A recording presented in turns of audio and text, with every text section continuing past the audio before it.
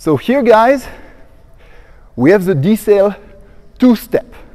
So it's exactly the same as the multi-step, but to decelerate, you will just give me two steps. So you will start from here, start running. When you're arriving here, one, two. Go back running, one, two. Go back running, one, two. And finish the run. Remember when you're doing it to make sure that your center of gravity is going down, okay? You will not decelerate really good if you're staying really like here, one, two, you will feel like you're still going forward.